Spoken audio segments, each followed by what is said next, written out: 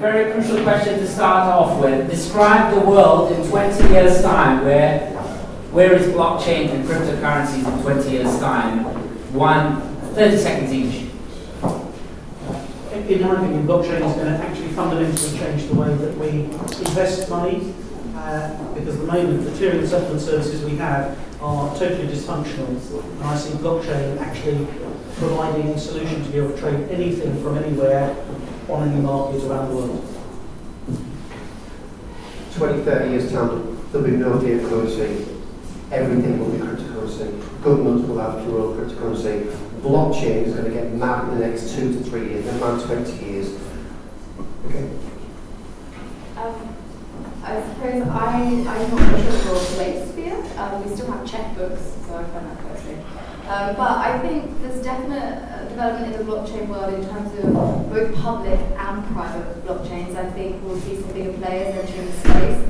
I think there will be some people looking to use private blockchains for their own commercial benefit, but then I also see the way that we're dealing with having public blockchains to improve decentralization as well. So I think we'll probably still be discussing it a little bit 20 years later, but I do think everyone will have full access to their records.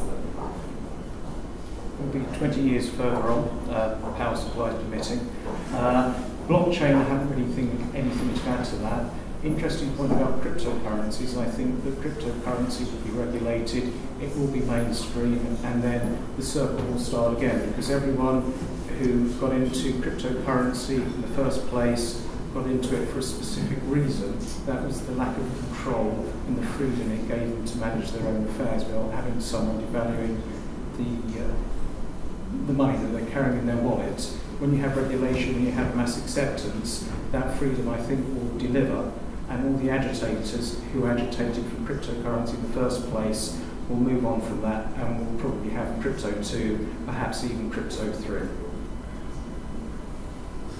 All right, interesting points of view. So before I got into redesigning human minds into a state of perfection, I was designing all sorts of tech systems.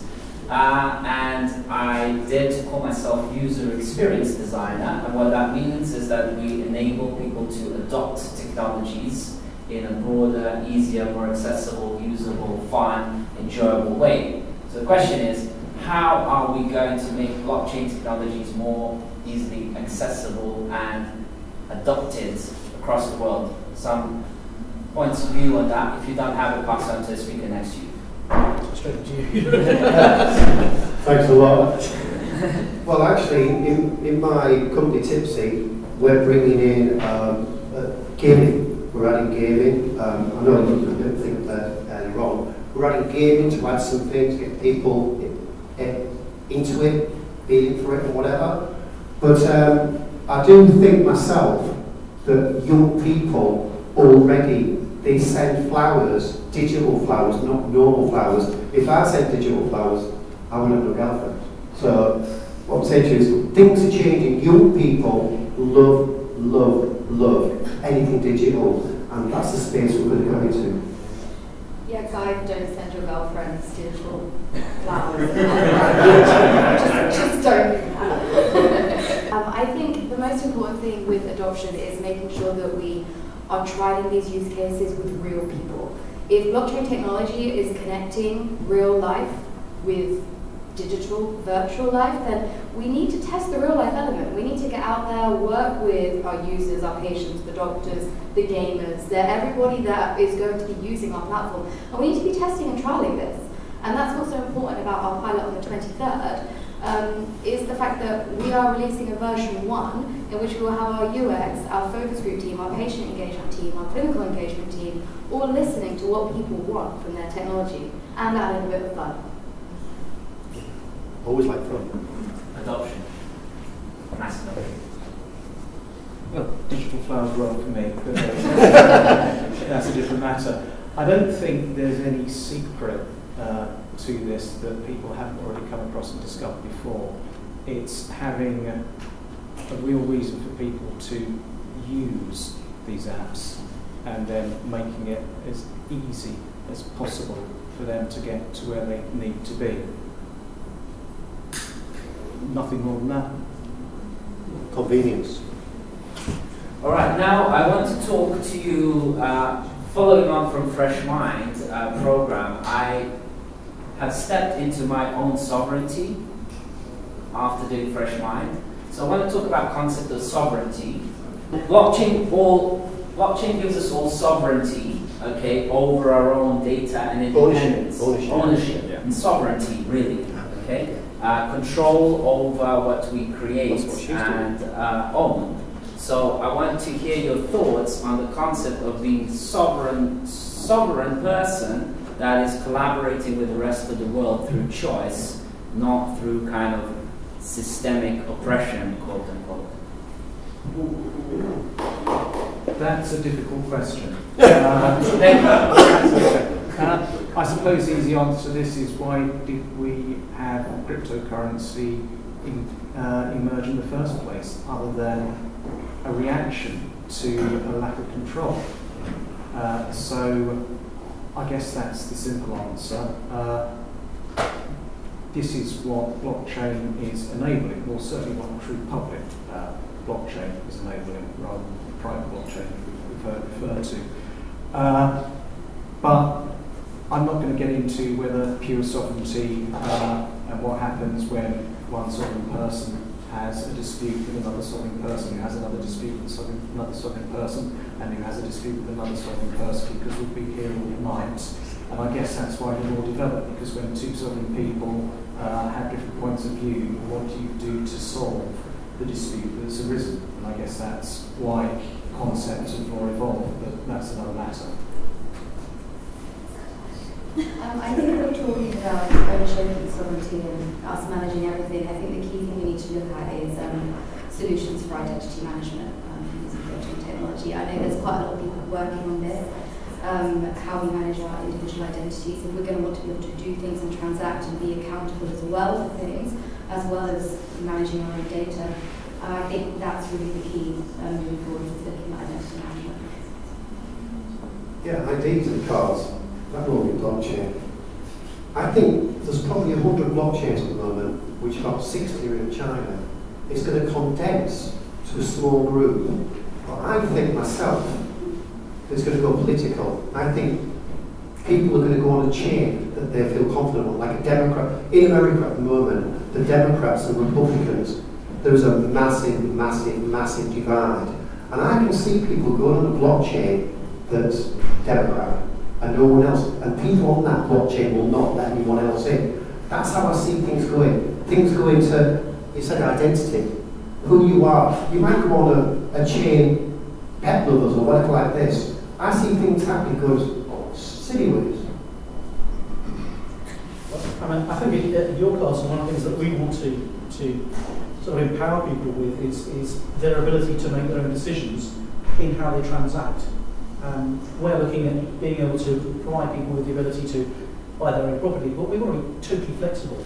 So as long as they're meeting their rental commitments, if they're saying, I want to pay extra this month because I've had a bonus, I want to be able to pay off a large chunk of, you know, or, or acquire a large chunk of the property, we want to be able to do that. We don't want any sort of penalising of, oh, you can't do that because you're getting ahead of your plan or you're falling behind on your plan. We want to make it so that actually the blockchain is able to deliver that independent flexibility within the business model. And I think that's something that the banks are totally dead set against. Sorry, can I just one more thing? Sure, always give the lawyer an extra chance to say things. I do have targets to meet, but also to deliver, so that's why No, no, the serious point is sovereignty uh, is about managing relationships, it's about ownership, and I guess that's why we have GDPR, because it took the EU an awful long time to cotton on to the fact that there is it's not just muck and brass uh, or brass in muck, there's brass in data. Uh, so what do I own? Uh, what do I have to give permission to people to use with information that relates to me? Can I give them information about certain things? If someone comes across my data on the web, what can they use it for? Do they have to tell me about it? Uh, it's all very interesting very complicated matters about ownership and individual rights versus common good, etc. And if you've ever got time to read the 80, 90 introductory pages to the GDPR legislation and you're into that thing, I suggest you do because you'll find a lot of interesting thoughts there. All right, so if, does anyone else have a question rather than me sort of just popping them in as, as they come to mind? Uh, please do. Um, With regards to sovereignty, I think it's, it's very interesting. Uh, so, for example, with GDPR, I know quite a bit about GDPR, so I've touched it on, on compliance. Um, the thing is, the companies still have a lot of power. So basically, it is well, you either accept our terms or you don't have our service. It's as simple as that. So the individual doesn't really have much more power, that much more power than they, than they had before, really, um, if they want that service. Um, and also, with regards to now, yeah, I, I'm slightly a bit of an anarchist, I guess, although I don't think it's necessarily realistic. Um, so I think there are laws and regulations, some laws and regulations are there for very good reason. And I think that obviously we know that um, uh, cryptocurrencies were probably used for um, uh, evading the, some, some rules, obviously. Yeah. Um, so would, would you like to comment on those things? all right, so Have a little quick. yeah, have a go. Yeah. The, the way that the cryptocurrencies get around the SEC is by, it's got to be a token-based solution. The problem is with a lot of ICOs, they're just roadmaps, things that might happen.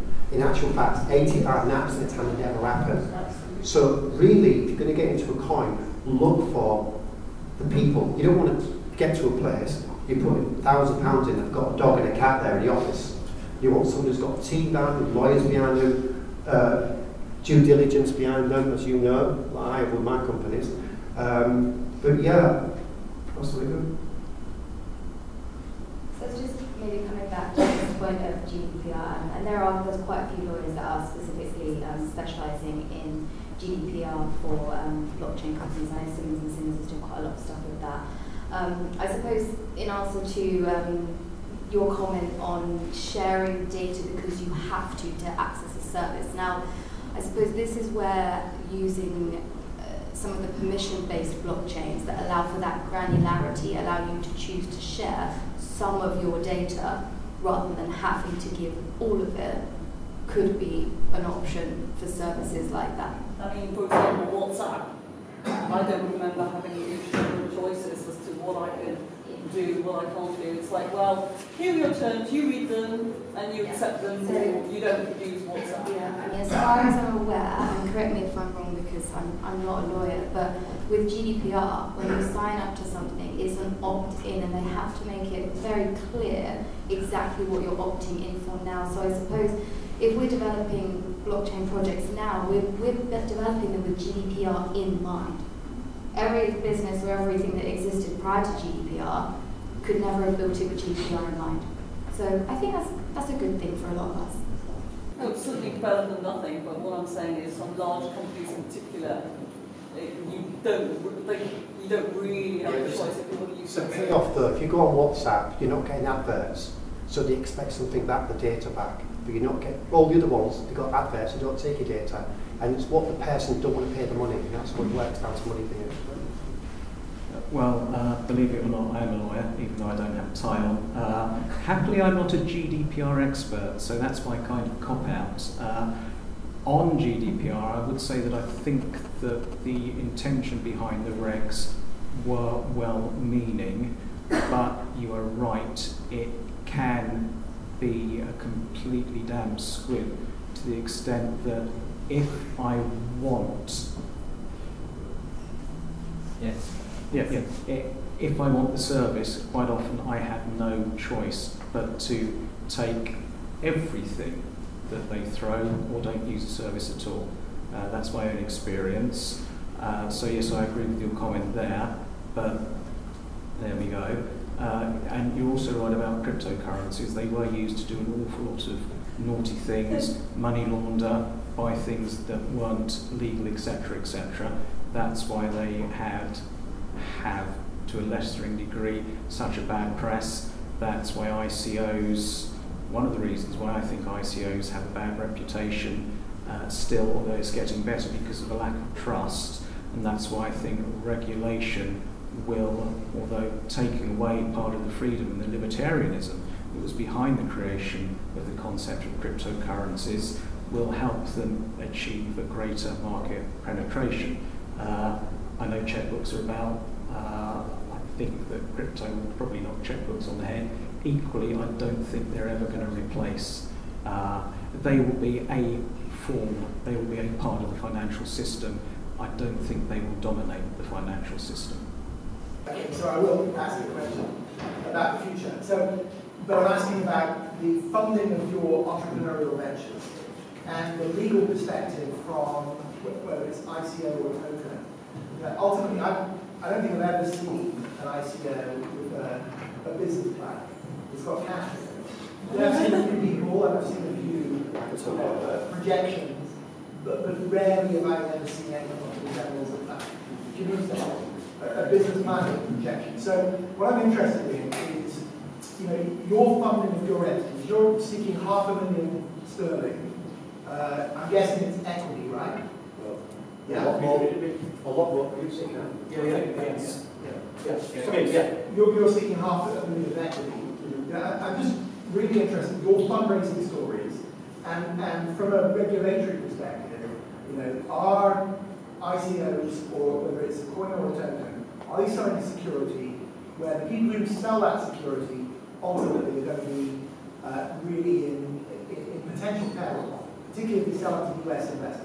Yeah, All right, so that's a bunch of ideas there in terms of how are you going to manage your cash flow and regulations in future. Let's start from Yeah, here. yeah, yeah, yeah, okay. Uh, right, okay, uh, uh, absolutely. I mean, one of the one of the things that when I was looking at um, establishing Castle, I saw and went in to look at a whole load of different ICOs that were out there, I was quite frankly appalled at the, the quality of uh, what they refer to as a white paper, which has practically nothing in terms of a business plan, no understanding of financial projections, uh, and my, my background uh, is that um, I, I'm actually a, a corporate advisor and I put together prospectuses for market listings. Uh, so I started off with saying, look, I'm not going to do any of that. I'm going to do this properly. I'm going to put in a good sound management team. I've got lawyers on board. I've got property guys. I've got I've got crypto guys, uh, specialists on board as advisors.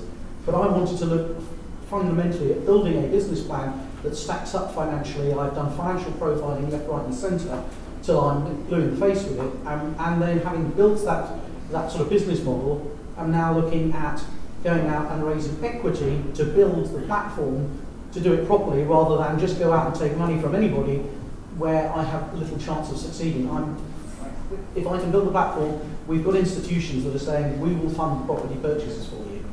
So uh, yeah, absolutely. I, I, when I started my technology business, it was a little bit like Dragon's Den. I went in a room, I got people, told me the idea I had, I eventually got some to invest, and I got my technology business. I'm going with the ICO, I'm probably good between 6 and 20 million on the first round on, on the ICO. I expect it to go quite quickly because I've already got a platform, I've already, thanks to my developer there, created software that's worth a lot of money anyway. So I would say I've already got an ecosystem. By the way, you said one thing about the regulations. The, the Americans, it's, it's the fact that people invent a token. The pretend token is not really a token. My system is a token system. People use a token to get a deal, then use the token to advertise. So I've got actual token system. But I agree, 90, 95%, it's not really a token, it's, it's an investment. So I, I suppose I'm in the lucky position that I'm, in, I'm not sitting here pitching an ICO because we actually did ours um, and we raised 24 million in February.